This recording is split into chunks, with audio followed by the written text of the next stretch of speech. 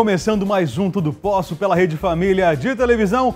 Hoje é sexta-feira, coisa boa, eu gosto muito e gosto muito mais quando é sexta-feira e é feriado, pelo menos em algumas cidades. Hoje, feriado da consciência negra. Maria Cândida. Oi, eu tô aqui com um grupo, a gente vai falar de Pilates daqui a pouco. Pilates que é um exercício muito importante para o corpo físico. Daqui a pouco a gente vai falar sobre isso. Olha, hoje nós também vamos falar sobre cabelos crespos, né? Cabelos crespos, crespos que merecem uma atenção especial. Isso porque são cabelos que têm uma tendência de ressecamento, fragilidade dos fios e com calor, exposição solar e contato com o cloro da piscina e até mesmo com o sal do mar, tendem a ficar muito mais frágeis e opacos.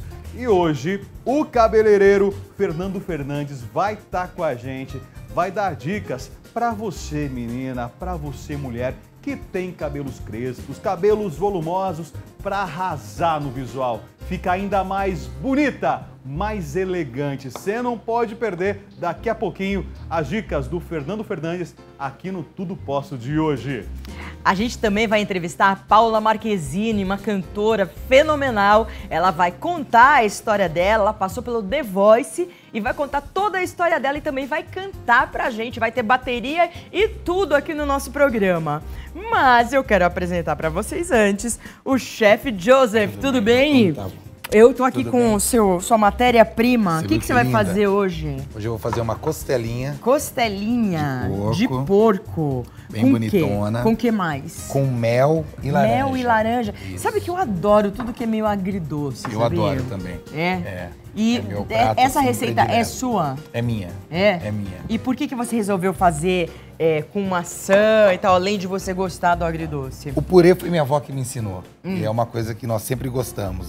Eu tenho um arroz que às vezes eu acabo colocando uva passas. Eu sempre tive esse... Como que eu posso te dizer?